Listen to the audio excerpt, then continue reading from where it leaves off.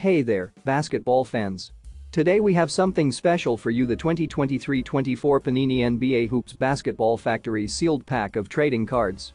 With 8 cards per pack, you'll have the chance to discover some incredible players, including the highly sought-after Victor Wembanyama rookie card but that's not all keep your eyes peeled for randomly inserted autographs, as well as the super rare blue explosion numbered to 59 and red explosion numbered to 15.